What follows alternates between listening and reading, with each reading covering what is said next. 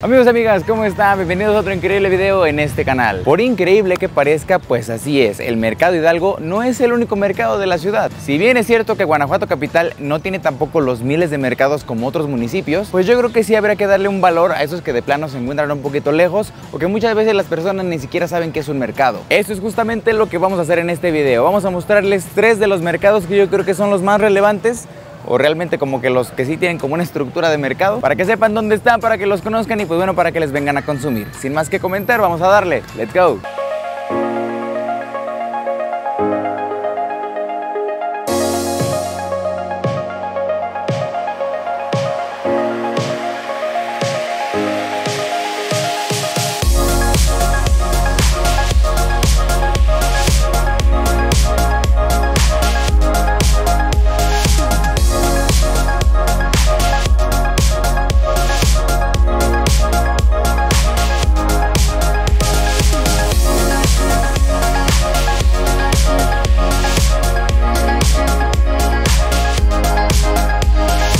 Ok, para comenzar nuestro recorrido nos encontramos en esta parte este del municipio de Guanajuato, nos encontramos en el Jardín de las Embajadoras, el cual prácticamente está al lado de nuestro primer mercado homónimo, ¿sale? Así que pues vamos a conocerlo un poquito. Este parquecito, amigos, se caracteriza por tener pues esta fuente aquí en medio. Me imagino que también las personas en aquellos bellos años se surtían de agua aquí. Vean, ahí está la estela.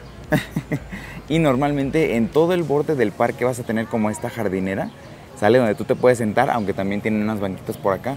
Y en las mañanas y en las tardes están estos puestos de aquí que son como tipo de pescado, de ceviches. También en las mañanas, normalmente diarios, se encuentran los tacos al, al vapor. Y sinceramente creo que no hay día más bonito o más perfecto para visitar un mercado que los domingos, los días donde la gente se viene a hacer su despensa o vienes a desayunar o vienes a surtirte de las cosas que puedas encontrar, por ejemplo, ropa, juguetes, útiles y demás cosas. Ahí está el puente que conecta con la parada de los camiones y pues aquí el jardincito, miren, está bien padre. Lo malo de aquí es que la neta en las noches luego se caracteriza mucho porque hay ratas. Entonces, si vienen en el día no hay tanto problema, pero en la noche, créanme que sí es un problema aquí en Guanajuato Capital. Pero al lado de este jardín, como les comentaba, tenemos los inicios del mercado. Mire, ya se ve ahí la ropita, aguas, aguas que nos matan. Pásale, pásale, pásale, pásale. Vamos a adentrarnos un poquito, amigos, porque pues esto es una parte digamos, de las tres o cuatro que hay del mercado. Y la neta, acá entre nos, a la Estela le encanta venir a los mercados a, chacharear, a los tianguis o cosas así. Normalmente luego vienes a, ver, pero sí sales comprando dos, tres cosas. Por ejemplo, ¿tú qué sales comprando? ¿Ropa? despensa. El mercado de embajadoras ya tiene prácticamente más de 50 años de existencia, puesto que fue inaugurado en el año de 1970. Aquí, amigos, pues ha habido muchísima historia. Esto fue también parte de una hacienda de beneficio, ya saben, uno de los lugares donde los metales se trataban con el objetivo de mandar lo que sí servía, lo rico, a otros lados y pues quitarle toda la maleza. Después quedó un poquito vacío con el tema del primer túnel que está aquí al ladito y luego de un tiempo en los años 70 pues ya lo adoptaron como un mercado. Tú puedes venir a este mercado a consumir prácticamente cualquier día de la semana, eso sí, la verdad es que aquí la gente de Guanajuato, como les dije en algún video, sí abre un poquito tarde. Estela no sé qué día vino a las 7, 8 de la mañana a buscar el mercado y pues no había nada. Y preguntó que pues a qué horas abría y dicen, uh muchacha, viniste bien temprano. ¿eh? Así que yo creo que lo bueno aquí en esta zona está como desde las 10 y media, 11 de la mañana hasta las 2, 3 de la tarde. Ahora, el nombre de este lugar de pues, las embajadoras no está determinado exactamente como el origen, pero hay una teoría o hay una idea que cuenta que el presidente Porfirio Díaz andaba paseándose por aquí en un tipo de asamblea en el año de 1903 con varios representantes, varios embajadores de diferentes países junto con sus esposas. Y pues más o menos yo creo que por eso adoptaron el embajadores, embajadoras, quién sabe, habrá que investigar ese dato. Y uno de los lugares más importantes que hay en este mercado, chequen esta parte de aquí, seguramente ya muchos saben qué es. Aquí abajo de nosotros pues aún pasa corre, esta es la entrada del primer túnel de Guanajuato capital en su historia. Pero después todo esto, pues miren, le pusieron adoquines, lo clausuraron y ahora pues abrieron este, la segunda parte de todo este mercado aquí arriba que ahorita la vamos a venir a conocer. La neta, yo tengo años que no subo para acá, Estela. Pero años, ¿eh? Desde que yo era niño. Me imagino, me imagino que tú nunca has subido. No, yo sí. ¿Has subido? ¿Hasta acá, hasta acá? Bueno, yo tengo años de que no había venido para acá. Por acá está una parte pues, donde te puedes sentar, a comer, a consumir. La neta es que, fíjate que creo que los mercados aquí, pues obviamente son algo diferentes a los de Celaya, sobre todo en como la distribución de, ¿no? Por ejemplo, yo esperaba que aquí hubiera un poquito más de cosas, pero lo que puedo notar es como que nada más la parte de la comida, de la fruta y la verdura, y acá está la parte de toda la ropa. Miren nada más este pasillo con muchísima ropa. Y ropa, o sea, chida para el bailongodi, para el jaripeo. ropa chida y sobre todo barata. Así que si quieren algo así como del estilo, miren, una pieza por 43 por 100. Ahí escójale usted en lo que más le guste. Algo que personalmente me gusta mucho a mí de los mercados es como este estilo, miren, así. Tener láminas como de diferente color para que entre luz porque si no, o sea, no entra luz y el calor se encierra. De hecho, las láminas blancas tienen esa función, no sé si sabías, como dejar entrar la luz, pero también que no haya tanto calor aquí encerrado. ¿eh? Dato. No sé, me lo acabo de inventar, pero creo que sí es cierto. Ahora, por lo que ando viendo, este mercado tiene como cuatro entradas o a la vez cuatro salidas. Esta es una de ellas. Y miren, aquí dice Mercado Embajadoras, 50 años a su servicio. Y pues la neta, este letrerito ya está un poquito viejo, así que yo creo que esto ya tiene rato aquí. Ah, miren, aquí arriba es donde tiran la basura. Ok, ok. Y fíjense que no huele tan mal. O sea, para hacer un, tiradero donde todo se concentra, la neta aquí como que, que esté abierto sí le da un plus, ¿eh? no huele mal. Miren, allá está la segunda parte del mercado embajadoras. Este de acá abajo podríamos decirle que es la otra sección de todo este mercado porque pues en sí son como tres. Lo de allá que es el tianguis y las partes de estas dos del mercado que sí están techados. Así que vamos para acá. Aquí de hecho hay otros baños. Yo quiero ropa de Shane. Uy, miren nada más. Vamos llegando a la parte donde pues Estela no es tan fan. no sé por qué, pero no le gustan las carnitas. Bueno, sí sé, pero no... E-, es, es raro, es raro. Esta es la parte, otra sección como acá de comida.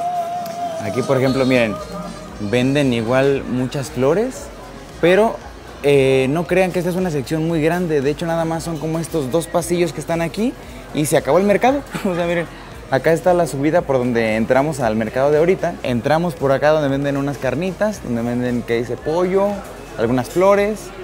Acá como cosas para licuadoras y así. Y literal solamente son estos dos pasillos de esta otra sección de acá.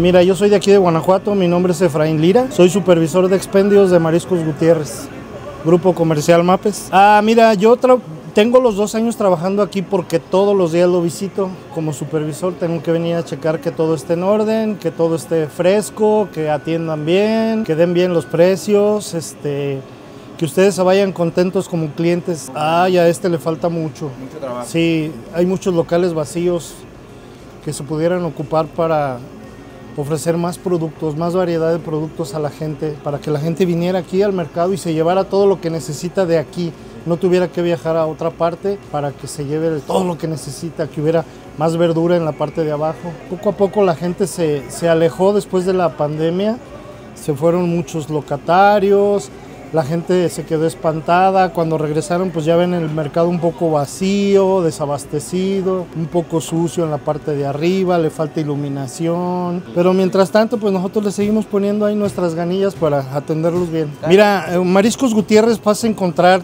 30 locales en Guanajuato. Todos son de la misma familia, pero son diferentes hermanos.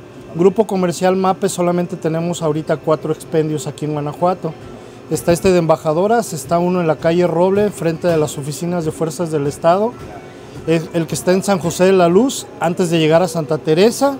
Y está el otro enfrente del Hielo Cristal, allá para el rumbo de Puentecilla. Son cuatro expendios, pero somos los mejores, somos los que tenemos la mejor calidad. ¿Verdad? Y ahí estamos a la orden. Ahí quedó cuando Sí. Mi nombre es Juan Carlos Hernández, soy de aquí de la ciudad de Guanajuato, Guanajuato. Eh, pues vendemos peces de ornato, alimentos para los peces, eh, sus soluciones para el agua, preparárselas, accesorio para mascota también y pues es lo que estamos ofreciéndole al público aquí en el mercado de embajadores. Esta es mi fuente de ingreso, doy asesorías también a niños de preescolar y primaria, ayudándole en los contenidos que pues ellos no han podido entender, ¿verdad? Entonces lo que hago es buscar la forma de aprender de ellos, a eso le llamamos estilo de aprendizaje. Sí nos hace falta un poco más de infraestructura, por ejemplo aquí en este patio, ¿verdad? Por ejemplo, cuando son las temporadas de lluvia, pues sí padecemos mucho del temporal, que ojalá, ¿verdad? Si se pudiera, se pudiera proteger este espacio. Eh, la forma de invitar a la clientela que nos haga el favor de venirnos a comprar, pues es la misma atención que yo les proporciono aquí, la información, la asesoría, el buen trato, la amabilidad. Todo eso es lo que me ha ayudado a mí como una fuente de invitar a comprar al público y el darle las gracias al público que nos hace, bueno, que me hace el favor de acercarse a comprarme. Y así como nos lo comentaron, la neta es que es un mercado bien padre y muy tradicional, con más de 50 años que está surtiendo pues a toda la gente de acá de estos lados de la presa de la olla, de embajadoras, de acá al lado de pastita, entonces es muy importante, pero sí, sin duda alguna, le hace falta mucho trabajo. Ustedes lo vieron, le hace falta un poquito de iluminación, le hace falta un poquito de presupuesto para mejorar las instalaciones, invitar a más gente que forme parte del mercado, porque como nos lo comentaron, hay muchos locales cerrados. Esta es la realidad del mercado de embajadoras, pero pues vamos con otro mercado a ver qué nos encontramos. Let's go. En segundo lugar, si es que hablamos de mercados un poquito chiquitos, o sea, chiquitos lo que le sigue y que también le hacen falta mucho trabajo y mucho apoyo, pues a lo mejor del municipio, es este, amigos, el mercado de la exestación del ferrocarril. Como lo pueden apreciar, muchos de los locales de por acá están cerrados, son realmente poquitos los que se abren al público, pero al menos este mercado es básicamente donde la gente de por aquí del barrio se viene a surtir de sus cosas básicas. Los orígenes de las primeras rutas ferroviarias en lo que hoy es Guanajuato se remonta a finales del año 1877, momento en el que entonces gobernador del estado Francisco Z. Mena conseguía del gobierno federal la concesión que le autorizaba a construir y explotar el ferrocarril que cubriría la ruta entre Celaya y León, con un ramal hacia la ciudad de Guanajuato y que pasaría por Salamanca, Irapuato y Silao. El desarrollo ferroviario y traslado en esa ruta se incrementó y se mantuvo hasta el siglo XX, lo que trajo consigo grandes beneficios, pero obviamente con el paso del tiempo y hacia mediados y finales de la década de los 80, el ferrocarril tendió a disminuir su demanda, por el avance de otros medios de transporte más modernos y rápidos. Es por eso que este lugar se quedó prácticamente en el abandono hasta que poco a poco fue retomado como un mercado. Pero normalmente lo que nos vamos a encontrar pues son algunos lugarcitos cerrados, ¿no? Unos locales cerrados. Miren, por acá venden algo de ropa. Lo que sí está padre es que, como les comentaba antes, pues miren el tamaño de este árbol. Esto es lo que realmente hace un parote aquí en relación a la sombrita porque el árbol está extremadamente grande que neta todo el mercado se alcanza a tapar por, por la sombra del mismo. Aunque a mí realmente lo que más me gusta de este lugar es su ubicación. Miren, este mercado de aquí de la exestación está prácticamente a un lado de lo que vendría siendo los pastitos o la fuente de las ranas. Y también de lo bonito es que, bueno, si guardamos silencio, pues escuchan muchísimas aves, muchísimos pájaros que andan por todos los árboles, porque la neta, este es un lugar neta lleno, lleno de árboles. Acá es la segunda parte, digamos, del mercado donde se concentra el tianguis. Miren, se puede salir por ahí y este es el barrio, pues prácticamente como de Tepetapa, ¿sale? Aquí está este vagón haciendo alusión a que aquí pues habían las vías del tren, de hecho aquí habían dos y aquí llegaban el tren. Aquí están algunos puestecitos y luego la gente normalmente entre semana aprovecha estos espacios también pues para llenarlos de ropa, de juguetes y demás cosas que pues ellos venden. Y miren lo que les comentaba amigos, normalmente este espacio pues estaba un poquito solo, pero ya que añadieron estos eh, como sombras y estas banquitas hechas de cemento, muchas personas pues los han apropiado para esto. De hecho, justamente para eso eran, o sea, para que la gente viniera a sentarse aquí y si en el paso querían vender algo, pues también podían hacerlo. Y luego por acá pues se encuentran estos pequeños ya como localitos donde pues ya cada quien decide qué vender y aquí se encuentra la parada de camiones de la exestación del ferrocarril. Aquí llegan todos los camiones que van hacia la zona sur de la ciudad.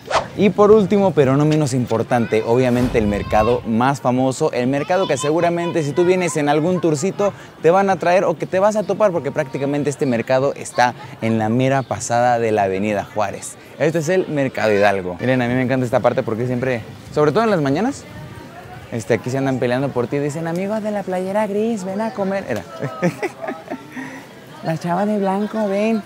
bueno amigos, Mercado Hidalgo, que prácticamente esta estructura bien chula que fue construida por allá de los principios de los años 1900 y estuvo a cargo de Ernesto Brunel y pues el señor también Ponciano Aguilar. El mercado más grande y seguramente a lo mejor el más bonito en cuanto a la estructura se refiere. Miren amigos, ahorita pues ya es un poquito tarde. De hecho ya las personas aquí del mercado ya están guardando sus cosas porque es prácticamente como las 5 de la tarde, ya todo se empieza a cerrar. Este mercado, un dato curioso es que fue justamente creado en el lugar donde hace algunos añitos estaba la plaza de toros llamada Gavira. Es por eso que muchas personas, sobre todo mayores, le conocen a este lugar como la plaza de Gavira. Pero sin duda que pues tristemente ese nombre se va a ir olvidando poco a poco porque la gente quizá ya no va a saber que hace años estuvo una plaza de toros aquí pero pues para eso son estos videos, ¿no? La estructura de este mercado yo creo que es lo que hace muy peculiar el lugar. Esto fue diseñado principalmente para ser una estación de tren, por eso tal cual el diseño como realmente pues un tipo Hogwarts, ¿no? Ah, desde hace muchísimos años este mercado alberga a los comerciantes que neta empezaron con la tradición de vender cosas. Justamente hay una familia acá que de hecho entrevistamos en ese video del mercado que nos comenta que su familia, o sea, sus tataratatarabuelos fueron los que iniciaron allá por el Hotel Emporio, que ahorita es el Teatro Juárez, después se cambiaron aquí a la Reforma y luego cuando abrió el Mercado Hidalgo vinieron y agarraron un local aquí y de hecho pues el señor que es el tatara nieto, no sé, sigue vendiendo en este lugar. Ahorita son como las 6 de la tarde y me voy a tomar una malteada de vainilla. ¿Por qué? Pues, ¿Por qué no? la neta, tuvimos suerte, ¿eh? porque obviamente, pues, ¿quién se toma eso ahorita a estas horas? Pero se me hizo agua la boca. De hecho, miren, ahí ya la están preparando, miren, guache. Sin duda que si quieren venir a este mercado a conocerlo, las mejores horas son entre las 10 de la mañana y a lo mejor las 3, 4 de la tarde. Ahora, obviamente la estructura del mercado está sumamente precioso, está bien bonito, pero eso no quita que como en todo, pues tenga muchísimas cosas que mejorar. Por ejemplo, no sé si se alcanza a ver, pero prácticamente todos los negocios de allá arriba pues tienen muchísima basura o tienen cartones amontonados o tienen plásticos o tienen lonas que a lo mejor algún día se van a volar con un fuerte aire. Luego también pasa muchas veces de que se meten palomas y empiezan a hacer sus nidos y pues no saben ni qué onda, ¿no? Pero justamente empiezan a hacer nidos, empiezan a hacer del baño y eso cae a los puestos o cae a alguna persona o cae por aquí y luego se tarda en limpiarlo. Entonces son como esos detallitos que a lo mejor sí podrían ser mejorados. Pero la neta, fuera de ello creo que sí es un lugar que tienes que venir a conocer aunque recuerda, pues este es el mercado más bonito que hay, o sea, el más grande realmente, pero pues no es el único, ya que si traes como ánimos de como chacharear, pues a lo mejor vete a embajadoras. El mercado de la exestación, la neta es que está bien pequeño, pero digamos que estás por ahí, a lo mejor te del apuro en alguna compra. Y sin duda alguna que lo turístico, pues es esto, el mercado Hidalgo. Pero ojalá que les haya servido un poquito este video para que hayan conocido más mercados y para que la siguiente vez que venga a lo mejor tengan el pretexto perfecto para ir a otra parte que no sea exactamente como que la más turística.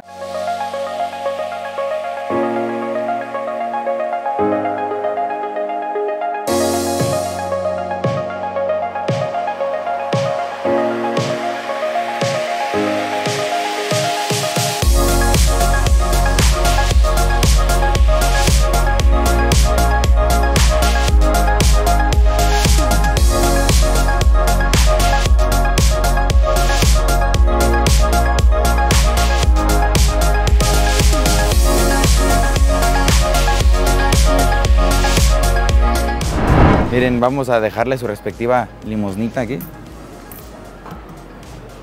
a la Virgen. Pero bueno amigos, ojalá que realmente les haya gustado mucho este video. Recuerden que es súper importante, los mercados se basan prácticamente en lo que nosotros le consumamos a las personas. No son como una tienda departamental que si venden o no venden, pues a nadie le pasa nada. Así que recuerden que si vienen, pues traten de consumir local, consuman a la gente de los mercados, sobre todo no regateen los precios y tratemos de apoyar a todos estos comercios locales que la neta pues a veces se la viven muy mal por justamente la falta de clientela que tienen. Pero espero que con este video hayan conocido, aunque sea algo nuevo de esta Cuídense mucho y nos estamos viendo en el próximo viernes con más contenido aquí en este canal. Bye bye.